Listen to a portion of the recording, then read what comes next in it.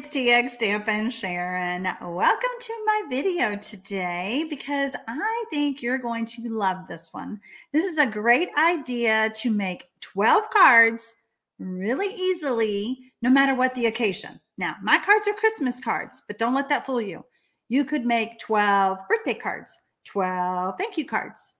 So we're going to go ahead and get started, and I have a lot to share with you as we go along. So we're going to switch our video, fix our video, our camera. I am using a um, suite from Stampin' Up called Lights Aglow. And I opened up this little mini catalog uh, to this page. If you do not have this mini catalog or my annual catalog, and you currently do not have a Stampin' Up demonstrator, I'm more than happy to send you one. Just look below the video and find um, my blog and then request my request a catalog over there on my blog. Now, the stamp set that I'm using, or stamp sets rather, is called Christmas Lights Bundle and Brightest Glow Bundle. Okay, those are really tiny pictures. So let's bring them into the camera. Here's our Brightest Glow. I love the words. Okay, we've got some scripty fonts. We've got some um, regular, you know, regular fonts. So a mixture of fonts here. Uh, greetings to go inside, greetings to go on the outside. And then we have our Christmas tree. And then we have this little itty bitty Christmas tree. Keep that in mind because you're going to see that again. Um, I did not use the star, the snowflake on my cards, but again, you can see these two up close. Now, these are called bundles. And in the whole suite, you get both stamp sets and the dies. So let's bring the dies over. So these dies are called um, Twinkling Lights. Okay, so we've got those in there, and they obviously go with the Christmas lights uh, stamp set. And then we have to go with Brightest Glow. Um, we've got some dies that cut out the greetings. Okay. So these two stamp sets were very helpful in making my cards. But again, don't think just Christmas. If you have already purchased this, these uh, stamp sets and dies, you're going to be all set. Okay. The paper that I chose is also here in this suite. Um, these items are on page 30 and 31 of the uh, mini catalog. And this paper is called Lights Aglow specialty paper because it has little bits of gold in it. So that makes it special. I'm also using the red and gold festive um, embellishments. I did not use these three items on my cards. You could, but I didn't. So there you go. All right, let's move this out of the way. And first, I thought we would just start by me showing you the cards. Okay. So I'm going to show you the 12 cards that I designed. And then we're going to show you how easy it is for you to make them at home. Okay, so we're going to start with our cherry cobbler. We've got some embossing, and I'm telling you, I think that anytime you do heat set embossing, it just steps up the card and makes it very elegant. Okay, so I've got some embossing here on my Christmas tree, but I want you to start focusing on the layouts of my cards. Okay, we're seeing the same layouts. Okay, Changing up our images, changing up our greetings makes these two cards look totally different. Here we go again. We've got that same layout. Again, changing our greeting. There we go. Same layout. You can't quite see the two pieces of paper under here because of my tree. Um, this one, I did use the Stylish Shapes dies from Stampin' Up. Whoa, whoa, whoa. This is a totally different layout. But I do want to point these out to you because you these are part of your 12 cards that you'll be making. Here are those uh, festive um, embellishments. And then I pulled out our good old friends, the rhinestones. We They don't get any love anymore. And I love blingy cards. Okay, so we're going to stack these here and we're going to see those again.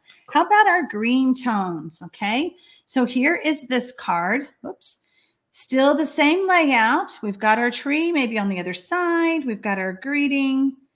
Um, this one I actually took from the catalog. Um, I took that. So watch, guys, when you're looking at the Stampin' Up! catalogs, look for inspiration, okay?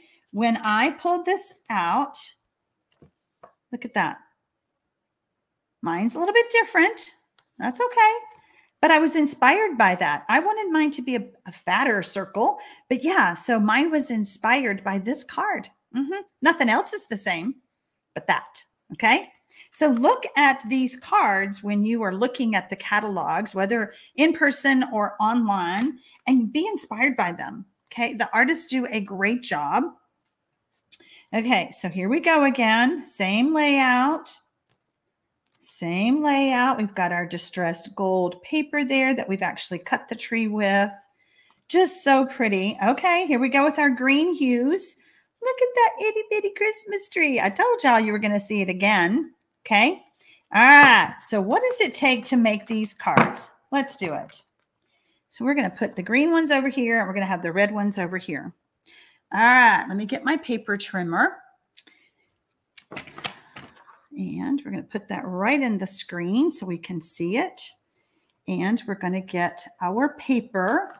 Um, I just realized that I cut all of my paper, but I did not pull out the paper that we need to use for the actual layouts. I cut all my layers, in other words. Okay, when you're choosing your paper, you want non-directional paper to uh, use for this this idea.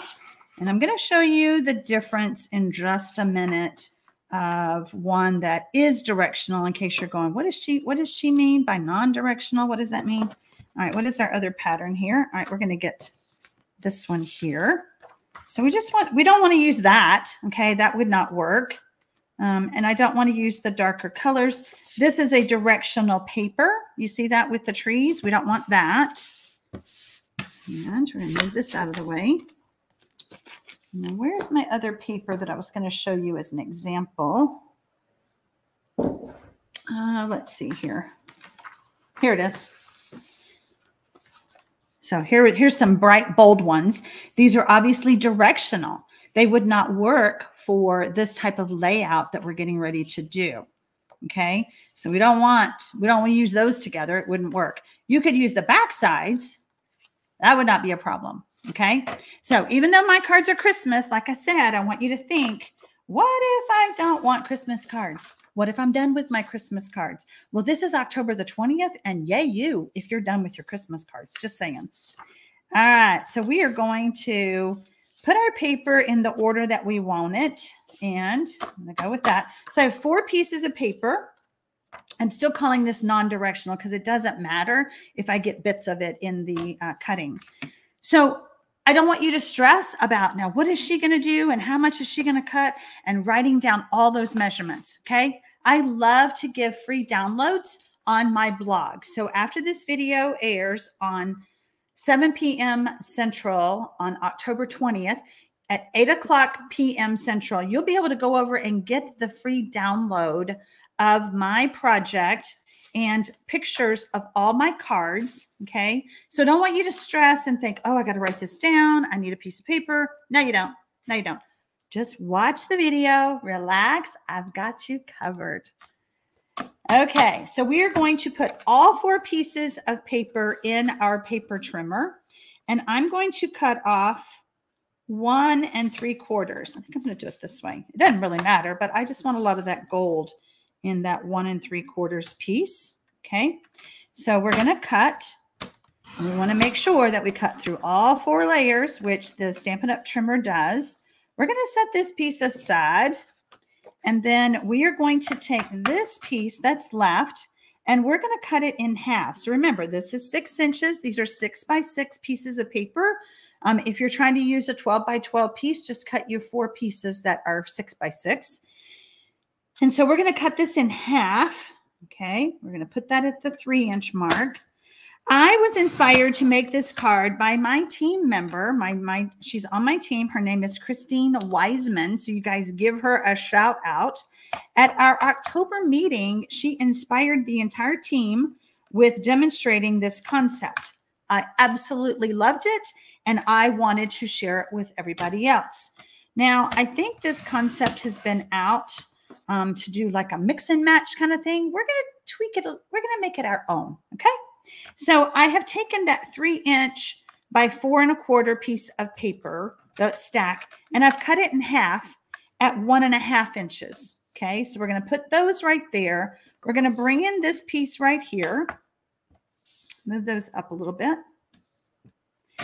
And so now what we have, we have our three inch by four and a quarter. Okay. And I want to bring this back over because now we're cutting this section right here. We're going to be tossing a little bit of this. We're going to cut off a quarter of an inch. Okay, so we're back down to just four inches. And, nope. Yes, all right. I'm like, wait, did I read that wrong? We're going to cut off a quarter of an inch. Now, I know some of you crafty people out there are going to go, what can I do with these little matchstick pieces? You have fun with that. I'm throwing mine away. okay, so now we're going to cut at one and a half. Okay. And what that left us is a big piece that's at two and a half by three. Okay. So now we're going to take this piece and we're going to cut it at one and a half again. Did I do that right? Let's make sure. We've got, yep. Sometimes you just have to stop and make sure you're doing the right thing. Let, mm, let's see. No, that is, please tell me I didn't do it wrong. this piece goes, let's see what this measures. This is three, so this is one and a half. If I messed up I on this video, I do have a backup. okay, so then this piece should be, I'm going to show you. Here's how we're going to double check ourselves. I'm good. You see my piece fits right there on this square right here. We're going to cut it in half. Okay. So this should be one and a half. Boy, that looks skinny though. So one and a half and one and a half should be three. And this is not three. Why is this not looking right? One and a half by two and a half. Oh, this is two and a half. Sorry. This is two and a half. This is three. So yeah, we want, why is this not computing? You know what? If I was doing this live, we'd have the same conversation. Okay, so one and a half. Let's get our ruler. It just doesn't look like it when I go to put it in the um, paper trimmer. And so we want to measure what? How many times? Like four times before we cut. Okay, so that is two and a half. And so we want to cut it make sure, make sure we're at two and a half. Okay. Boy, that just doesn't look right. We're going to cut it at one and a half. I know where I messed up at, and I'll share with y'all in just a minute. So we have one and a half by two and a half of all of our pieces. It's just, you know, I'd rather be safe than sorry. And I'm telling you, if I was doing this live, I'd have done the same thing. I'd have got my ruler and I'd have made sure. Okay, so now we're going to take all these pieces and we're going to sort them. I'm going to put my greens over here and my reds over here. Um, the other concept that I think is out there is like a shuffle, like to mix these all up. Um, but I, hmm, we're going to do it my way. This is how I like to do it. Um, I like to have all my greens and my reds. I wanted all my cards to um, be the same color family. If you want yours mixed up, you certainly can. So we're just putting our greens and our reds separated. Okay. Okay, so now it's time to start assembling our cards. Move this out of the way. Move this out of the way for right now. All right, so we're a little prep work ahead of time. You're going to fix four pieces of the cherry cobbler. If you want your cards to look like mine, four pieces of cherry cobbler. I have all the measurements in the download, so I'm not going to go through those now. And I cut, look what I did. I cut four gold, um, my layers, but I cut out the centers. Okay, this is a paper saving tip. The gold foil only comes two sheets in a pack. And I wanted to, what if I want to use this for something else? That would be a lot of wasted space, uh, a lot of wasted product that I could use on another card. I could use for layers on the front of this card, or I could use on another card. Okay, so a little paper saving tip for y'all. I just used the stitched frames, stitched rectangle stitch dies and cut those out. Okay. Um, I did choose to use Cherry Cobbler as my card base. Um, but if you wanted to just get 12 cards ready using the basic white thick, you could certainly do that as well. Okay, so we're going to bring in my card. Let's move all this down. And we're just going to put the layout together on this with this card. Okay, so I've got my cherry cobbler. Here, we'll start at the beginning. We're going to start with our base. We're going to lay our frame. We're going to get our adhesive. And we're just going to catch those corners.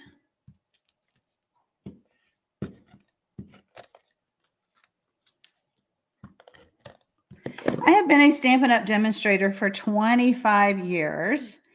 And I just absolutely love sharing and teaching um, and I loved that my team member shared and taught at our team gathering. And I am just proud to share, you know, to, to toot her horn, uh, you know, shout out her name here on my video and on my blog post. She's she's gonna she's on the blog post as well.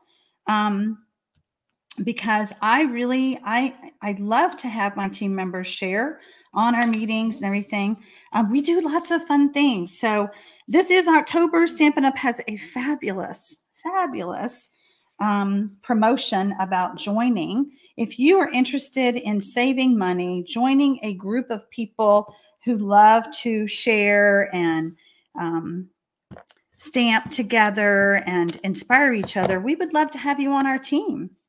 All right, so what I'm doing here is I'm just following this layout right here and we are making this card. We're putting this card together.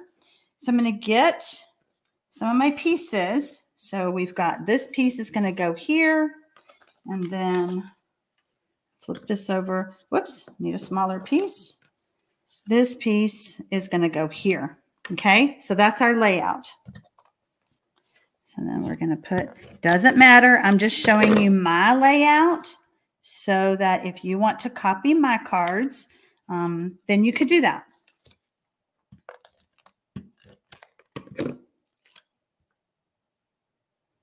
And I actually think I have the longer piece here, but it doesn't matter. You're seeing the same things. All right, we're going to push that aside. We're going to bring in our other one. We're going to bring in this one. And we're going to put our gold on.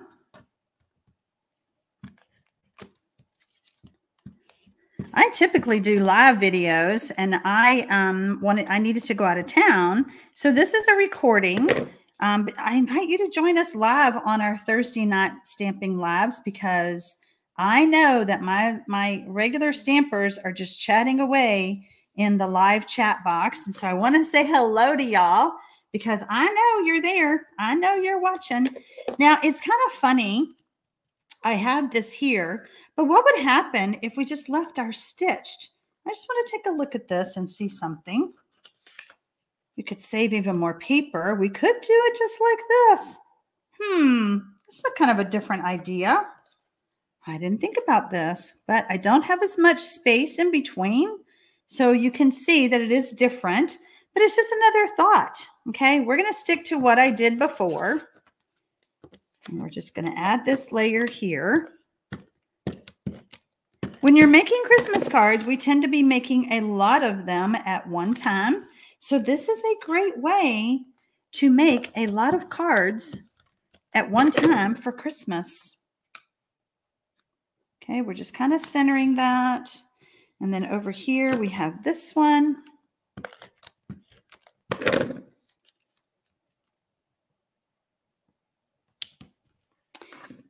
Yeah, so that, um, whoops, that, that one goes there.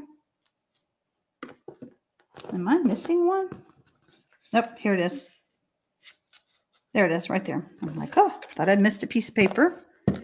Um, the promotion that Stampin' Up! has during October is absolutely uh, the best that I've seen in a while. You know, they come out with different reasons or different promotions. Um, okay, so there's my layout. Okay, so we've got number two done. So in October, you can shop for anything you want up to $155. You're only going to pay $99 plus tax. Okay, but you're going to get free shipping. And whenever you become a demonstrator, the word demonstrator is just kind of daunting. It's like, I am not, I know what you're thinking. You're like, I am not going to get on YouTube and do what she's doing. Absolutely no way. I don't blame you. Um, you don't have to. My team member members, most of them do it to get the discount. Just join for the discount. So when you go back to what the promotion is, shopping for anything you want for up to $155, only paying $99 and getting all of the free stuff you get, the free shipping, the free paper pumpkin, it equals about a $98 value. So if you are a regular Stampin' Up! customer, you should talk to me about it. Just saying. Here is layout number three. We're going to be putting this one together. Now, I did cut my paper sideways, but it doesn't matter. Okay, we've got our long piece there. I'm just going to put this on. I'm going to add this here. Okay. And then we have our short little square up in the corner. And then we have our, our bouquet, our bouquet uh, dots. We have that next. If you prefer to use liquid glue to put these on to get them all lined up, then you do it. You do what makes you feel best, comfortable. Now on this one, I used a different gold, but here I decided just to stick with the gold foil. And I did make this piece a little bit bigger. I don't know. I don't know what that measurement is, but I changed, you know, it doesn't matter. Each of the cards are different. Okay, so how about this one? We've got, we should have three pieces left. So we're going to get our card base. We're going to get our foil. And we're going to add our adhesive on the corners. So sometimes the Seal Plus um, goes off the edge and I'm just bending that back. Hope you can see that on the video.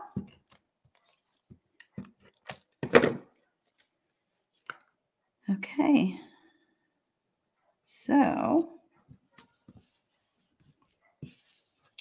And add our last piece of cherry cobbler.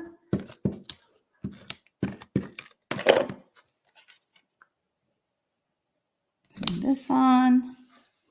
We have our, hmm, you know what? I'm going to change it. I don't have very many with this side. I'm going to change it. That's my card. And that's what y'all can do. We have a saying in, in our mystery stampers group called Go Rogue. You have all the pieces to make your card. Go rogue. Okay. So we have our bigger piece is down there. Yep. We're going to put this. Yep. Changed it up a little bit. We had to go rogue since we since we made one change, but that's okay. So I hope you get the gist of what all these layouts look like, what the, the actual design is. Okay. Now on this video, I'm just walking you through this. You may not have the stamp set yet. You may want to go ahead and, you know, get your layouts done, get them all done, and then go through, stamp all your Christmas trees, do all the die cutting, stamp your greetings, do all the cutting, then just do an assembly line of adding them to all of your cards. Okay, so now let's do the green ones. For this one, we are using a basic white layers.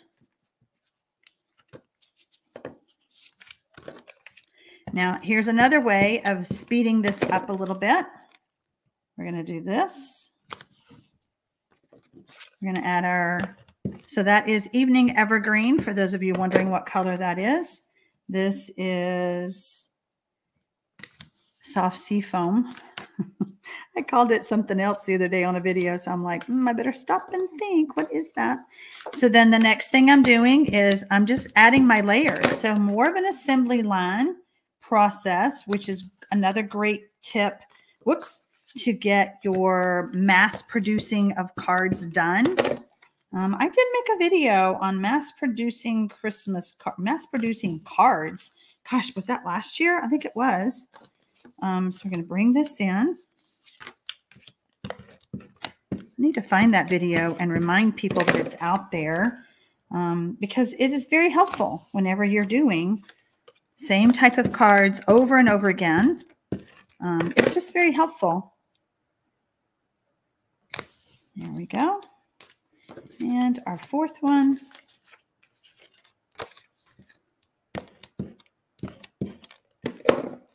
Okay. I mentioned mystery stamping. Every Monday we do mystery stamping, and that is where I don't stamp. Y'all do. I give you instructions or give you clues to make a card while we're live. Okay. If you're interested in mystery stamping, you can reach out to me. You can find me, my website, my blog, how to order Stampin' Up, all that below all of my videos. Okay. All right, so we're going to follow this layout. So we need this piece. Let's see if we can follow the, the directions this time. I'm going to need this piece. And then I'm going to need this piece for down here. Okay. So I always like to start with the biggest piece. It gives me a better, um, I don't know, visual, I guess.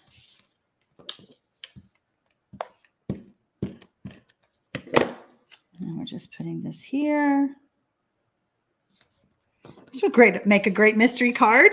I just talked about mystery stamping. And so mystery stamping, I, I pretty much try to keep it very generic so that everyone can join us, whether you have Stampin' Up! products or not.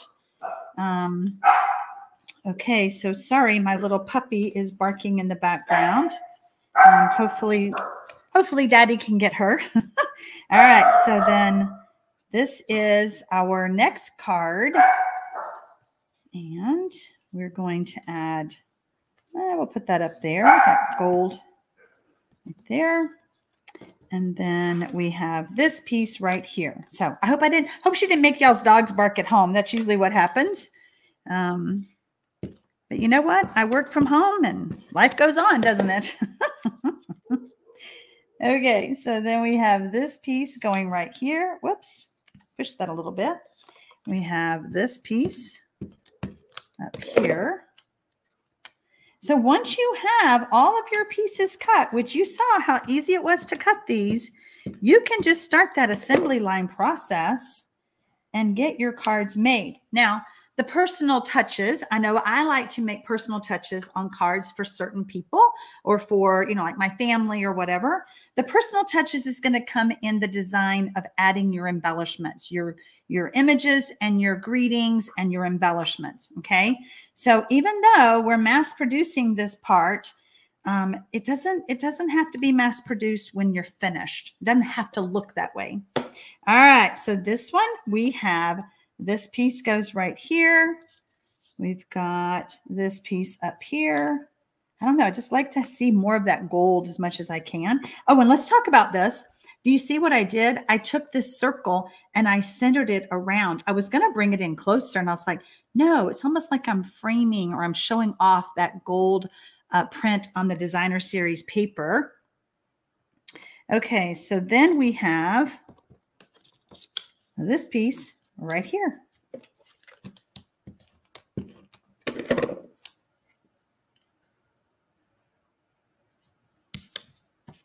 I hope you like this idea. If you do, I would love to read your comments.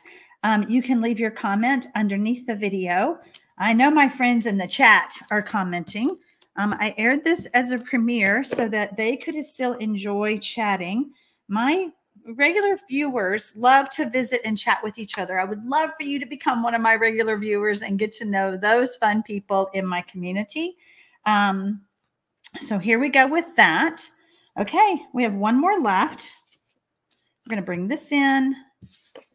We've got this piece, this piece, and this piece. Okay. So as you remember, we only threw away one quarter of an inch by, what was that, three inches of designer series paper off of this stack of paper that we cut. That's not bad. That's not bad waste. And I showed you the paper saving trick of cutting out the centers of that gold foil. So um, saving that paper as well. And we're going to add this here. Okay, so there we go. We got our layouts. Now let's talk about these. How are we going to do these cards? Okay, let's do it. So remember our strips that we cut. All right, we've got those. I'm just going to move these over. I cut two pieces of cherry cobbler that is two inches by six inches. These were one and three quarters by six inches, remember? And then I've got two pieces of evening evergreen. We're going to go get our paper trimmer again. So look at me. Now I have, I'm going to have 24 cards when I'm done with this video, when I come back and add the front of those cards. To make 24 Christmas cards in, let's see, we are what? How long? We've been at 30 minutes so far on this video. Um, me doing a little bit of chatting, but still, that's not too shabby to make 12 cards. All right. So I am putting this corner and this corner in the gutter of my paper trimmer, and we're going to cut. Okay. Now, we're green on both sides, so it really doesn't matter. And then we're going to do the same thing. It doesn't matter which way you turn this. You could do it this way. You could do it that way. It doesn't really matter. Okay. All right. Then we're going to do the same thing to our paper. I'm going to cut it the same.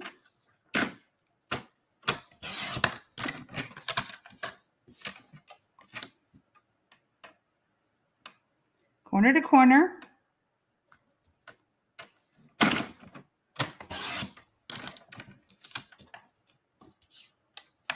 Same with the cherry cobbler.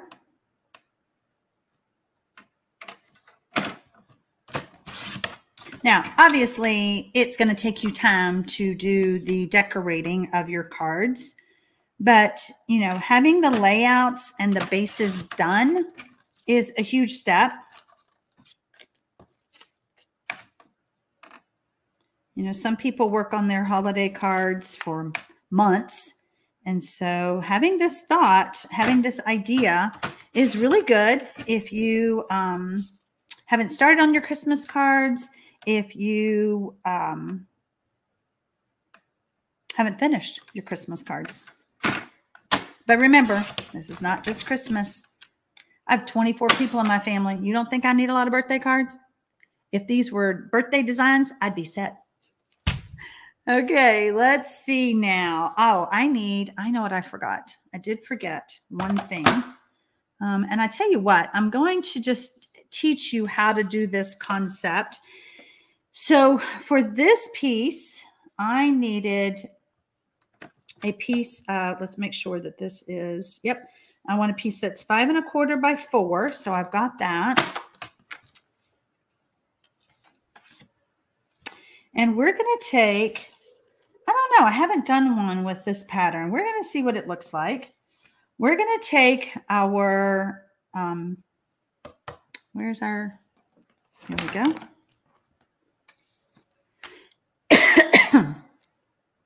We're going to use liquid glue.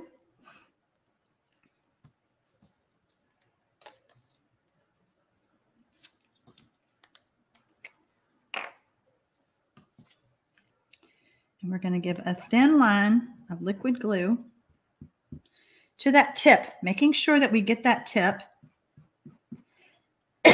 Excuse me.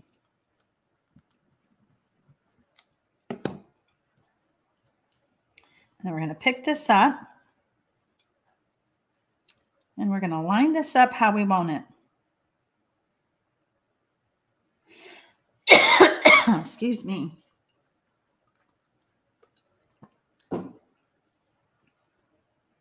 Okay, let that glue set for just a second.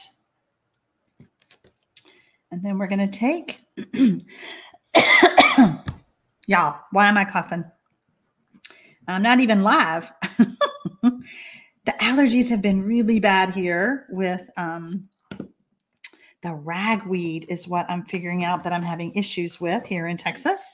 Um, but we've had a little cold snap, so I'm hoping that that will settle down all right, so I am lining this up. Where's the edge of my card? Whoops.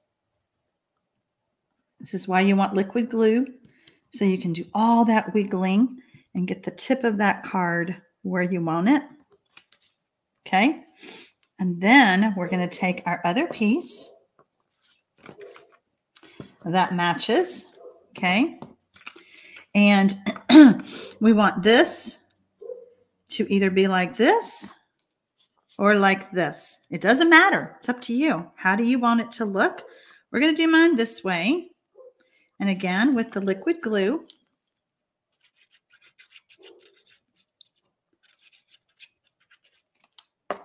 Okay.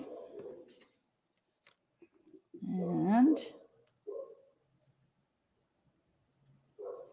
this is just the easiest way. This is what my, my downline or my team member Christine taught us. And so this is how we're doing it. Um, I guess you could trim it down before you put it on, but that seems kind of hard to me. The main thing I want you to focus on is that tip. Okay, we're going to line this up here. There you go. Okay, we're going to take and put our glue away. We're going to grab our snips. We're going to turn this over and we're going to trim off the excess. And just like that, we have our layout. So I think you get the gist. All those other pieces that we cut, you can do the same thing. I think I lost a few pieces with my sleeve of my shirt. But you can do the same thing to make these cards okay, like we did here. And I am done pretty much. I mean, I've taught you the layout. I hope that, um, whoops, there we go. I hope that this is a great idea for you. Uh, like I said, you could do a little shuffle and shuffle them up and have a multiple multi, multiple colors on one card. I wanted greens and reds on, I wanted them separate. So I opted from my way. Um, but you know what? When you're making your cards, you make it your way. I hope that you have been entertained tonight and inspired when um, you are ready to make your cards. I hope that you'll refer back to this video um, and make sure you go over to my blog and you can get, let's just pop this up here really quick. We've got a banner here. We've got um, well, that's who I am, Texas Stampin' Sharon. My blog is www.txstampin.com. You can look for the October 20th uh, uh, blog post and you can download your free tutorial there so that you can use this concept for your cards. So, um, thanks for joining me. Thanks for taking a little bit of time out of your day to spend it with me. And happy stamping, y'all.